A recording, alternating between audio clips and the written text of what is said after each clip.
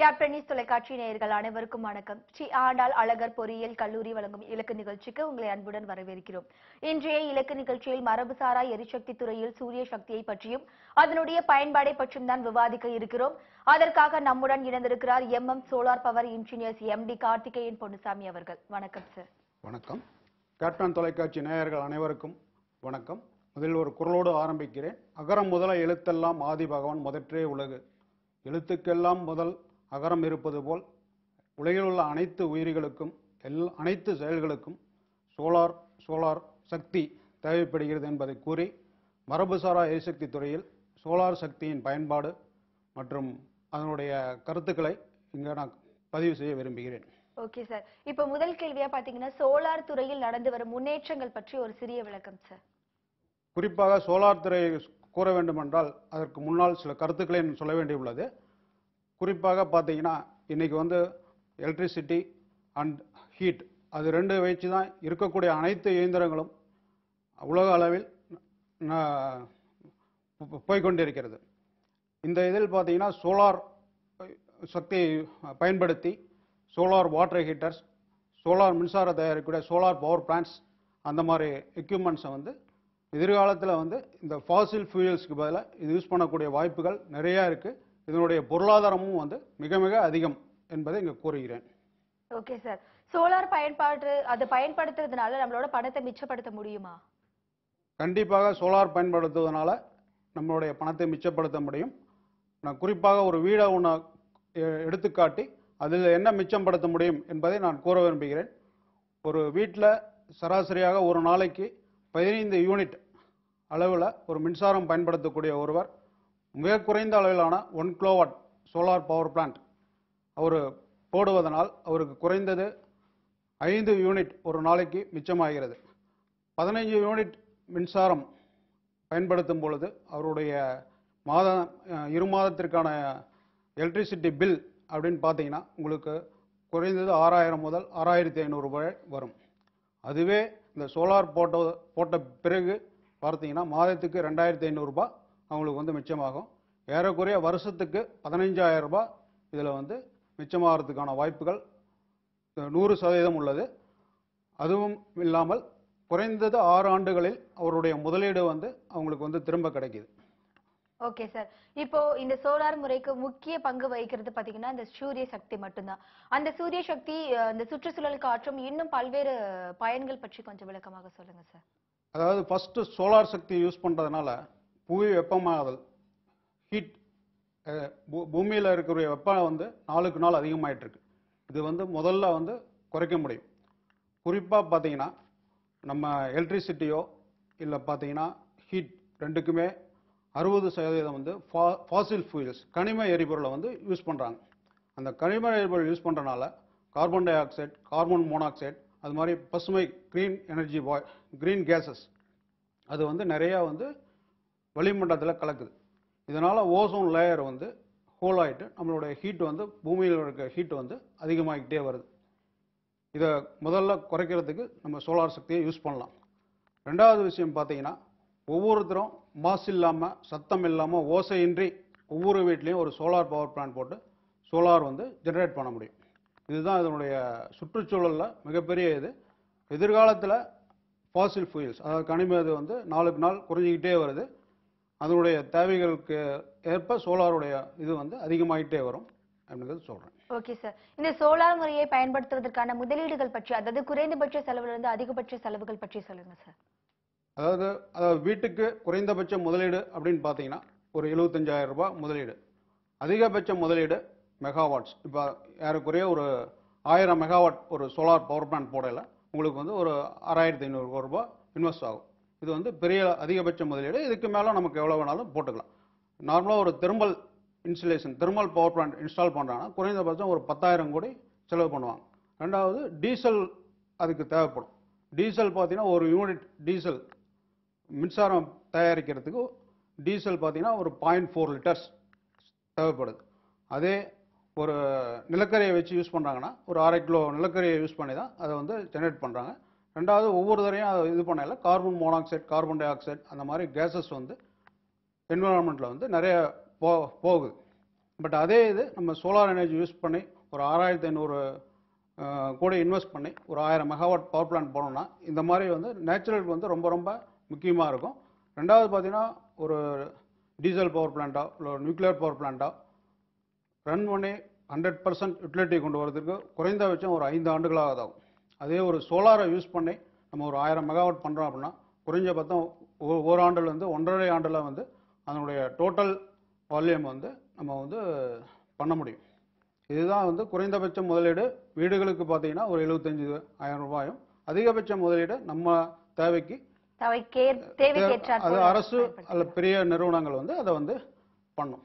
Okay sir இப்போ நீங்க சொன்னீங்க குறைந்தபட்சம் வந்துட்டு எழுபத்தி ஐந்தாயிரம் ரூபாய் முதல் சொல்லிட்டு. ஆனா நடுத்தர குடும்பத்துல இப்ப சராசரி வருமானம் முப்பதாயிரம் இப்படி முப்பதாயிரம் இருபதாயிரம் அப்படி இருந்ததுன்னா அவங்க சோலார் முறையை பயன்படுத்தணும்னா எந்த மாதிரி அவங்க ஆரம்பிக்கலாம் சார் முதல்ல வீட்டுக்கு யூஸ் பண்ணக்கூடிய உபகரணங்களில் பார்த்தீங்கன்னா வாட்டர் ஹீட்டர் அதிக அளவு பவர் எடுத்துக்கூடிய ஒரு உபகரணம்.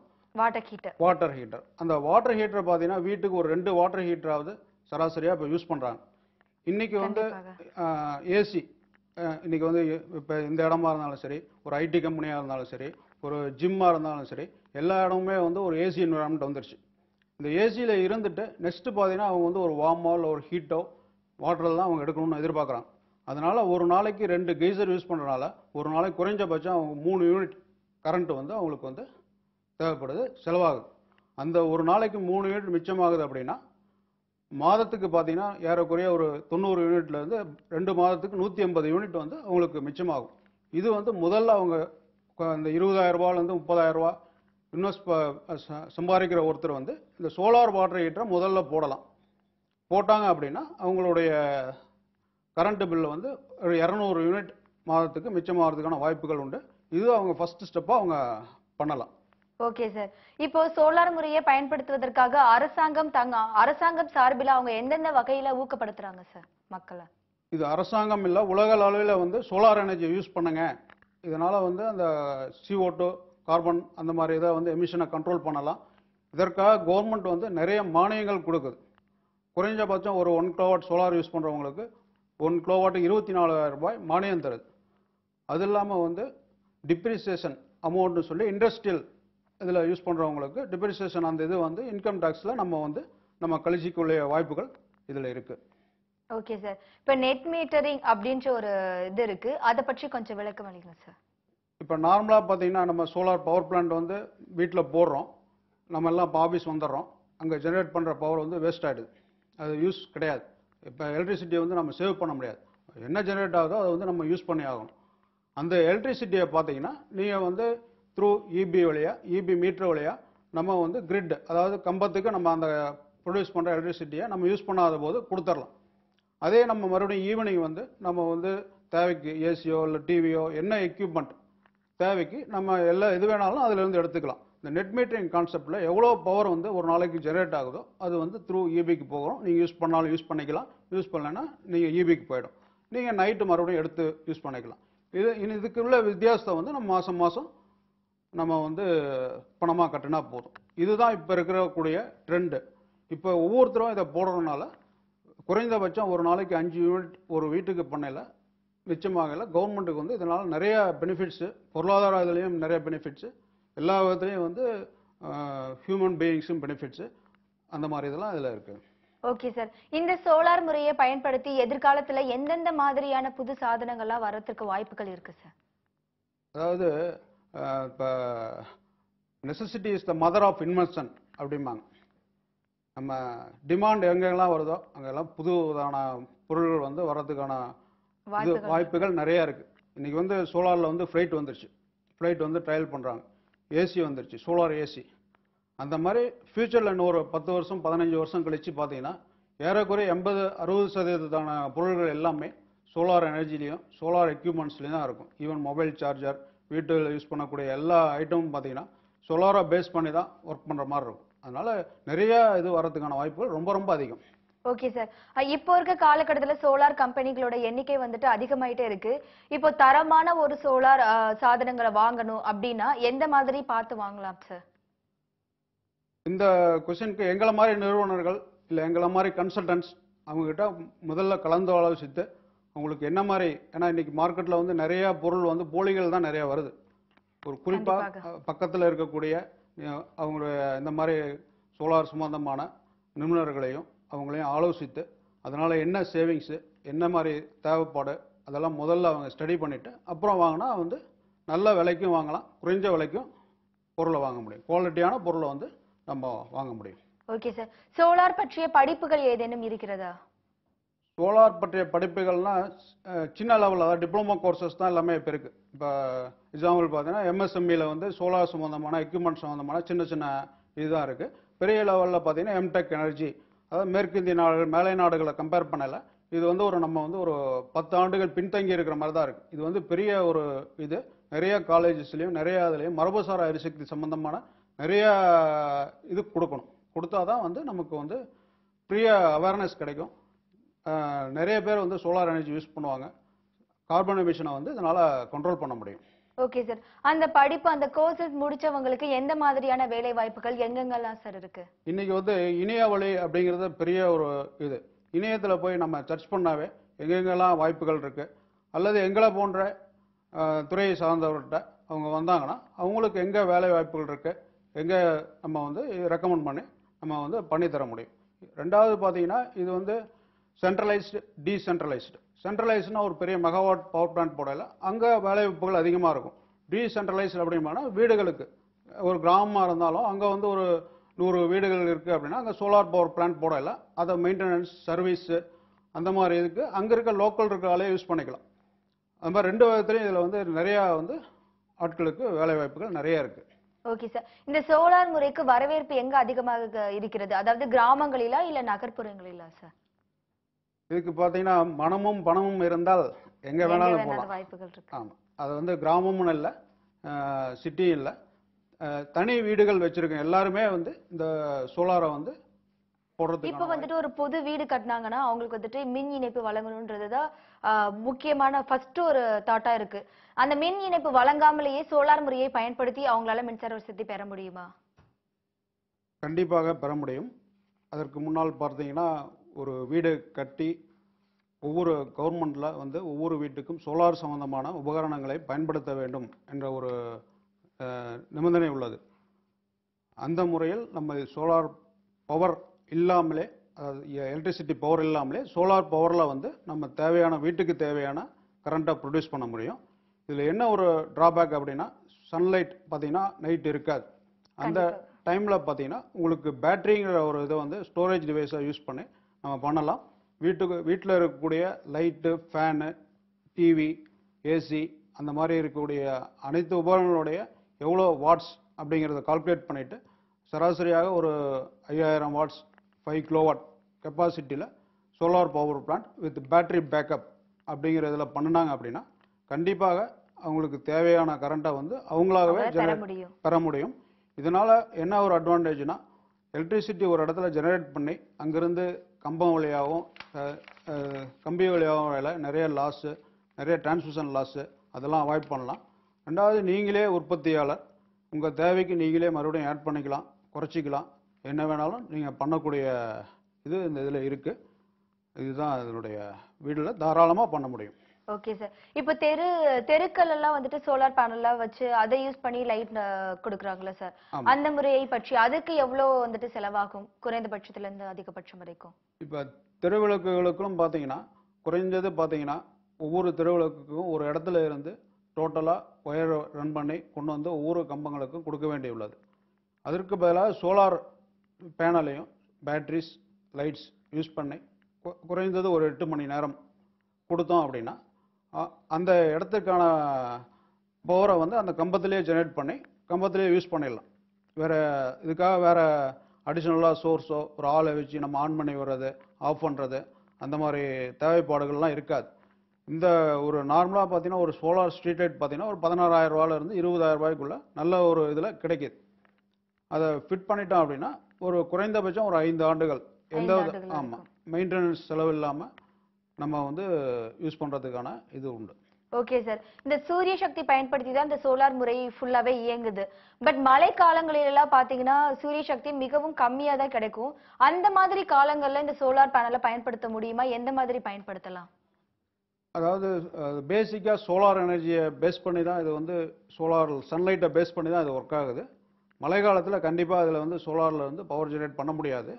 குறைஞ்சது ஆண்டுக்கு பார்த்தீங்கன்னா இரநூத்தம்பதுலேருந்து முந்நூறு நாள் சராசரியாக இதோடைய பவர் ஜெனரேஷன் இருக்கும். இப்போ வாட்டர் ஹீட்டர் அந்த மாதிரி எக்யூப்மெண்ட் யூஸ் பண்ணல. பேக்கப் ஹீட்டர் அப்படிங்கிற அடிஷ்னலாக ஒரு இது கொடுத்துட்றாங்க சப்போஸ் நம்ம சோலார் லைட் இல்லை அந்த மாதிரி உள்ளவங்க தேவைப்பாடு அன்னைக்கு வந்து ஒரு நூறு லிட்டரை விட அதிகமாக தேவைப்படுது. அப்படின்னா நம்ம கெய்சர் மாதிரி அந்த ஒன் ஆர் ஒரு நாளுக்கு வந்து நம்ம கெய்சர் மாதிரி அந்த சோலார் வாட்டர் ஹீட்டர் யூஸ் பண்ணிக்க முடியும். இதில் வந்து சோலார் பவர் சிஸ்டத்தை பொறுத்தவரைக்கும் அந்த மாதிரி ஒரு தேவைப்பாடு இருக்குது மழை இருக்குது அப்படின்னா நம்ம சின்னதாக ஒரு ஃபைவ் கிலோவாட் பவர் பிளான்ட் போடையில் ஒரு ஒன் ஆர் டூ கிலோவாட்டுக்கு மட்டும் நம்ம ஆஃப் கிரிட் சிஸ்டம் அப்படிங்கிற சிஸ்டத்தில் பேட்டரி பேக்கப் எடுத்து நம்ம வச்சுக்கலாம். பேட்டரி பேக்கப் வச்சுக்கிட்டோம் அப்படின்னா ஒரு குறைந்தபட்சம் ரெண்டு நாளைக்கு நம்ம வந்து சோலார் பவர்லேயே நம்ம வந்து யூஸ் பண்ண முடியும். ஓகே சார் நம்ம ஏற்கனவே பேசின மாதிரி எல்லா வீடுகள்லயும் வந்துட்டு இப்போதைக்குன்னு பாத்தீங்கன்னா இன்றியமையாம இருக்கிறது வாட்டர் ஹீட்டர் இந்த சோலார் வாட்டர் ஹீட்டர் முறையை பயன்படுத்தணும்னா குறைந்தபட்சத்துல இருந்து எவ்வளவு செலவாகும் சார் அதாவது குறைந்தபட்சமாக. அதாவது சோலார் வாட்டர் ஹீட்டர் ஒரு குடும்பத்தில் ஒரு நாலு பேர் உள்ளவங்களுக்கு ஒரு நூறு லிட்டர் கெப்பாசிட்டியில் ஒரு சோலார் வாட்டர் ஹீட்டர் பண்ணினா போதும். இது ரொம்ப ரொம்ப சிம்பிள் ஒரு ஒரு சின்டெக்ஸ் டேங்கோ இல்லை வந்து ஒரு கோல்டு வாட்டர் டேங்க் மாதிரி தான் இது ஒரு சிஸ்டம் இது ஓப்பன் டெரஸில் ஒரு சன்லைட் பண்ணுற மாதிரி ஒரு இடத்துல ஒரு ஃபிக்ஸ் பண்ணிட்டோம் அப்படின்னா அதுலேருந்து டுவெண்ட்டி ஃபோர் ஹவர்ஸ் உங்களுக்கு ஹாட் வாட்டர் எடுத்துக்கலாம். இதுக்கு குறைந்தபட்ச முதலீடு ஒரு பதினெட்டாயிரம் ரூபாயிலிருந்து ஒரு இருபத்தி ரெண்டாயிரம் ரூபாய் வரும் உங்களுக்கு. இதில் அடிஷ்னலாக அந்த ஹீட்டிங் காயில் அந்த ப்ரொவிஷன் நம்ம இதில் பண்ணி கொடுக்குறோம். பண்ணி கொடுக்குறனால உங்களுக்கு உங்கள் வீட்டில் நிறைய கெஸ்ட் வராங்களோ ஃபுல்லாக ஃபங்க்ஷன் டைமில் கூட நீங்கள் வந்து அதை யூஸ் பண்ணிக்க முடியும். ரெண்டாவது பார்த்தீங்கன்னா இந்த சோலார் வாட்டர் ஹீட்டருக்கு பார்த்தீங்கன்னா ஐந்து வருட வாரண்டி கொடுக்குறாங்க குறைந்தபட்சம். ஐந்து வருட ஆமாம் இந்த லைஃப்னு பார்த்தீங்கன்னா டென் இயர்ஸ் இந்த ப்ராடக்ட்டுக்கு லைஃப் இருக்குது ஒரு hundred litre solar water heater use பண்ணுறனால குறைஞ்சபட்சம் ஆண்டுக்கு பார்த்தீங்கன்னா உங்களுக்கு ஏழாயிரத்தி ஐநூறுரூவா அவங்களுக்கு எலக்ட்ரிசிட்டி மிச்சமாகுது. மூன்று ஆண்டுகளில் பார்த்தீங்கன்னா அவங்க வந்து முதலீடு பண்ணுற பணம் வந்து அவங்களுக்கு மணி பேக் அதாவது எலக்ட்ரிசிட்டி சேவிங்ஸ் மூலயமா திரும்ப பெற முடியும். அதனால சோலார் வாட்டர் குறைந்தபட்ச செலவுன்னு பார்த்தீங்கன்னா இருபதாயிரம் ரூபாய் இருந்தால் ஒரு தரமான சோலார் வாட்டர் ஐந்து ஆண்டுகளுக்கு உரிய சோலார் வாட்டர் ஆமாம் வாரண்டியில் வருது. லைஃப் பார்த்தீங்கன்னா ஒரு பத்து வருஷம் லைஃப் இருக்கும். அதனால் இருபதாயிரம் ரூபாய் இருந்தால் போதும். வீட்டுக்கு தேவையான சுடுதண்ணி நீருக்கு தேவையான சோலார் வாட்டர் ஹீட்டரை நம்ம ஃபிக்ஸ் பண்ண முடியும். ஓகே சார் இதுவே சோலார் பவர் பிளான் நிறுவனம்னா அவங்களுக்கு அவங்களுக்கு ஆக்கக்கூடிய செலவுகள் பற்றி சொல்லுங்க சார் சோலார் பவர் பிளான்ட் அப்படின்னு பார்க்கல அவங்களுடைய மாதத்தான எவ்வளோ யூனிட் அவங்க வந்து கன்ஸ்ட்ரக்ஷன் பண்ணுறாங்க அப்படிங்கிறத நம்ம முதல்ல வந்து எடுக்கிறோம். ஒரு மாதத்திற்கு ஒரு நா மாதத்திற்கு ஏறக்குறைய ஒரு தொள்ளாயிரம் யூனிட் அந்த அளவுக்கு அவங்க கன்ஸ்ட்ரக்ஷன் பண்ணுறாங்க அப்படின்னா அவங்களுடைய தேவை ஒரு one kilowatt solar solar power plant போடல ஒரு ஃபைவ் யூனிட்ஸ் ஜெனரேட் பண்ணும். அந்த மாதிரி ஒரு நாளைக்கு அவங்களுக்கு வந்து ஒரு பதினஞ்சு யூனிட் கன்சம்ஷன் ஆகுது. அந்த பதினஞ்சு யூனிட்டில் ஒரு ஃபைவ் யூனிட்ஸ் கெப்பாசிட்டிக்கு இன்சியில் ஒன் கிலோவாட் கெப்பாசிட்டியில் சோலார் பவர் பிளான்ட் போட்டு அவங்க ப்ராசஸ் ஸ்டார்ட் பண்ணலாம்.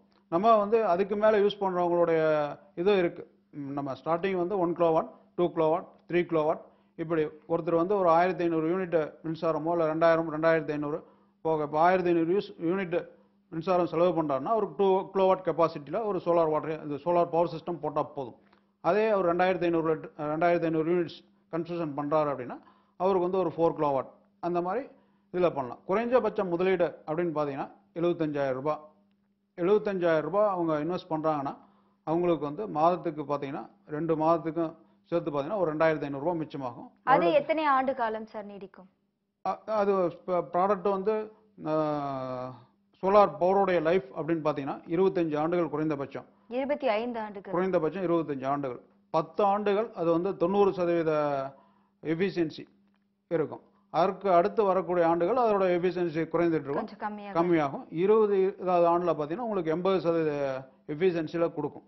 இப்போ நார்மலாக ஒரு நாள் சன்லைட்டில் ஒரு தௌசண்ட் வாட்ஸ் பேனல் இருந்ததுன்னா குறைந்தது நாலு யூனிட்ல இருந்து அதிகபட்சம் ஏழு யூனிட்ஸ் வரலாம் பவர் ஜெனரேட் பண்ணும் அதனால் அவங்க ஒரு 75000 ரூபாய் முதலீடு பண்ணி ஒரு குறைந்த லெவலில் ஒரு சோலார் பவர் பிளான்ட் plant. போட்டாங்க அப்படின்னா அது வந்து எல்லாருக்கும் ஒரு பிஸ்னஸ் பொருளாதார ரீதியாகவும் சோலார் போகிறனால வளர்ச்சி இருக்குது கவர்மெண்ட்டுக்கு நிறைய அதனால பெனிஃபிட்ஸ் இருக்குது ஓகே சார் இப்போ இருக்க எல்லா இண்டஸ்ட்ரியுமே இந்த மின்சாரம் இல்லாம இயங்கவே முடியாது. அந்த நிலைமைக்கு இப்போ வந்தாடுச்சு ஸோ இப்போ பிக் இண்டஸ்ட்ரி பெரிய இண்டஸ்ட்ரிக்கெல்லாம் வந்துட்டு நிறைய அளவு வந்துட்டு மின்சாரம் தேவைப்படும்.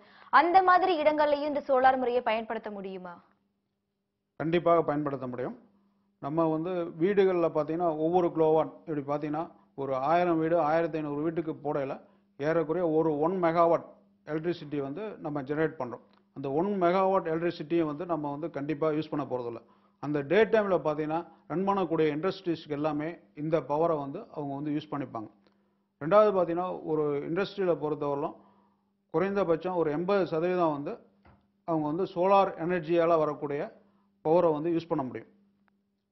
இப்போ குறிப்பாக பார்த்தீங்கன்னா ஒரு மிஷினுக்கு வந்து ஒரு ஃபைவ் கிலோவாட் அந்த அளவுக்கு அந்த மிஷினுடைய கெப்பாசிட்டி இருக்குது அப்படின்னா அவங்க தாராளமாக வந்து ஒரு ஃபைவ் கிலோவாட் சோலாருக்கு சோலாருக்கான கெப்பாசிட்டியில் அந்த சோலார் பேனல்ஸ் எல்லாமே போட்டு ஃபிக்ஸ் பண்ணி அவங்க யூஸ் பண்ணுறனால அவங்களுக்கு வந்து கவர்மெண்ட்டில் அதாவது டிப்ரிசியேஷன் அது எக்யூப்மெண்ட் டிப்ரிசியேஷன் அந்த அமௌண்ட்டில் அவங்களுக்கு நிறைய பெனிஃபிட்ஸ் நிறைய பண்ணுறாங்க சோலார் எனர்ஜி யூஸ் பண்ணுறதுக்காக அவங்க கவர்மெண்ட் நிறைய டேக்ஸ் பெனிஃபிட்டு கார்பன் கிரெடிட்டு அந்த மாதிரி நிறைய இது கொடுக்குறாங்க. அதனால் தாராளமாக வந்து இண்டஸ்ட்ரியல் செக்மெண்ட் வந்து நிறைய ஃபோக்கஸ் பண்ணி நிறையா பண்ணக்கூடிய வாய்ப்புகள் நிறைய இருக்குது ஓகே சார் இப்போ ஒரு சோலார் பேனலை எடுத்துக்கிட்டேன்னா குறைந்தபட்சம் எத்தனை மெகாவாட்ஸ்ல இருந்து அதிகபட்சமான எவ்வளவு மெகாவாட்ஸ் வரைக்கும் அதுக்குரிய ஒரு கெப்பாசிட்டி இருக்கு? அதாவது சோலார் பேனல் பார்த்தீங்கன்னா ஸ்டார்டிங் வந்து வாட்ஸில் சொல்லுவாங்க. நார்மலாக இப்போ அந்த மொபைல் சார்ஜர்ஸு அதெல்லாம் பார்த்தீங்கன்னா ஒன் வாட்ஸ் டூ வாட்ஸ் கெப்பாசிட்டியில் இருக்கும். அதோட அது கொஞ்சம் எமர்ஜென்சி லைட்ஸு அதை யூஸ் பண்ணக்கூடிய பேனல்ஸ் பார்த்தீங்கன்னா டென் டென் வாட்ஸ் கெப்பாசிட்டியில் இருக்கும். அதுக்கு அடுத்து பார்த்தீங்கன்னா இப்போ ஸ்ட்ரீட் ஸ்ட்ரீட் லைட் அந்த மாதிரி இதுக்கு பார்த்தீங்கன்னா செவன்ட்டி ஃபைவ் வாட்ஸ் கெப்பாசிட்டியில் இருக்கும். அதுக்கு அடுத்து நம்ம பவர் ஜெனரேஷன் இப்போ ஹண்ட்ரட் வாட்ஸ் பேனல் போட்டு ஒரு இன்வெர்ட்டர் பேட்டரிஸு அதே கூட ரன் பண்ண முடியும். இதில் என்ன ஒரு விஷயம் அப்படின்னா நம்ம நிறைய எல்லார் வீட்லேயும் வந்து ஒரு இன்வெர்ட்டர் பேட்டரிஸ் வச்சுருப்பாங்க. அந்த இன்வெர்ட்டர் பேட்டரி இருக்கிற செட்டப்லேயே நம்ம சோலார் பேனல்ஸை யூஸ் பண்ணி நம்ம சார்ஜ் பண்ணி டே டைமில் யூஸ் பண்ணக்கூடிய எல்லா அந்த இன்வெர்டர் வழியாக போகக்கூடிய எல்லா எக்யூப்மெண்ட்டையும் வந்து நம்ம சோலார் பவரில் யூஸ் பண்ணலாம். அப்போ பார்த்தீங்கன்னா நம்ம ஒன் கிலோ ஒன் வாட்ஸில் இருந்து நமக்கு வந்து தேவைக்கு அதாவது மேக்ஸிமம் பார்த்தீங்கன்னா த்ரீ ஃபிஃப்டி வாட்ஸு கமர்ஷியலாக பார்த்தீங்கன்னா ஃபைவ் ஹண்ட்ரட் வாட்ஸு பெரிய பேனல்ஸு அந்த அளவுக்கு நம்ம ஃபைவ் ஹண்ட்ரட் வாட்ஸ் வரலாம் நம்ம பேனல்ஸ் சைஸஸ் வந்துகிட்டு இருக்கு. ஓகே சார் இந்த சோலார் முறை எந்தெந்த இடங்கள்ல மிக அதிக அளவுல பயன்படுத்திட்டு இருக்காங்க சார் இது குறிப்பாக பார்த்தீங்கன்னா ஜெர்மனி சைனா. சைனாவில் பார்த்தீங்கன்னா தொண்ணூறு சதவீதம் வந்து இன்னைக்கு சோலார் இது யூஸ் பண்ணுறாங்க அதே பார்த்தீங்கன்னா இந்தியாவில் நம்ம தமிழ்நாட்டில் பார்த்தீங்கன்னா தமிழ்நாடு எரிசக்தி அவங்களுடைய என்ன சொல்கிறாங்கன்னா இதுவரையிலும் அவங்க வந்து ஒரு ஆயிரம் மெகாவாட்டுக்கான சோலார் பவர் பிளான்ட் வந்து டோட்டலாக போட்டிருக்கிறோம். இதில் பார்த்தீங்கன்னா ஒரு நம்மளுடைய தமிழ்நாடுடைய தேவை அப்படின்னு பார்த்தீங்கன்னா பன்னெண்டாயிரம் மெகாவாட்ல இருந்து பதினஞ்சாயிரம் மெகாவாட் ஒரு நாளைக்கு எலக்ட்ரிசிட்டி அவங்களுடைய தேவைப்பாடு இருக்கு. இதுல தமிழ்நாட்டுல மட்டும்? தமிழ்நாட்டில் மட்டும். இப்போ ஜெனரேஷன் அப்படின்னு பார்த்தீங்கன்னா ஒரு பத்தாயிரம் மெகாவாட்லேருந்து பன்னெண்டாயிரம் மெகாவாட்டு தான் இப்போ வந்து ஜெனரேட் பண்ணுறாங்க இதில் பார்த்தீங்கன்னா மெயினாக பார்த்தீங்கன்னா தெர்மல் பவர் பிளான்ட் அதாவது டீசல் யூஸ் பண்ணுறது அப்புறம் விண்டு பவர் பிளான்ட் அப்புறம் nuclear power plant hydro power plant அதாவது தண்ணியில இருந்து எடுக்கிறது. இப்போ நார்மலாக பார்த்தீங்கன்னா விண்டு பவர் பிளான்ட்டில் பார்த்தீங்கன்னா ரெண்டாயிரம் மெகாவாட்லேருந்து ஒரு அஞ்சாயிரம் மெகாவாட் அந்த காற்றடிக்கிற வேகத்துக்கு ஏற்ற மாதிரி அவங்களுக்கு எலக்ட்ரிசிட்டி கிடைக்கிது. அதே டீசல் பவர் பிளான்ட்டில் பார்த்தீங்கன்னா ஒரு ஆறாயிரம் மெகாவாட் அளவுக்கு அவங்க ப்ரொடியூஸ் பண்ணுறாங்க நியூக்ளியர் பவர் பிளான்ட்டில் பார்த்தீங்கன்னா ஒரு அப்ராக்சிமேட்டாக ஒரு ஆயிரம் மெகாவாட் அந்த அளவுக்கு அவங்க ஜெனரேட் பண்ணிகிட்ருக்காங்க இருக்காங்க. இந்த டோட்டல் இதில் பார்த்தீங்கன்னா எண்பது சதவீதம் அதாவது ஏறக்குறைய பத்தாயிரம் மெகாவாட் அளவுக்கு சோலார்னால் நம்ம உற்பத்தி பண்ண முடியும். அதற்கான எல்லா ஃபெசிலிட்டியும் எல்லா விதமான நம்ம சப்போர்ட்டும் தமிழ்நாட்டில் இருக்குது நிலம் இருக்குது நிறைய சன்லைட் இருக்குது அந்த மாதிரி இருக்கல நமக்கு வந்து பெரிய பெனிஃபிட்டாக தான் இருக்கும். ஓகே சார் இன்றைய நிகழ்ச்சியில் சோலார் முறையை பற்றியும் அதனுடைய பயன்பாடுகளை பற்றி மிகவும் தெளிவாக அழகாக சொன்னீங்க. நன்றி சார் நன்றி. இதேபோல் மற்றும் ஒரு நிகழ்ச்சியில் மீண்டும் சந்திப்போம். நன்றி வணக்கம்.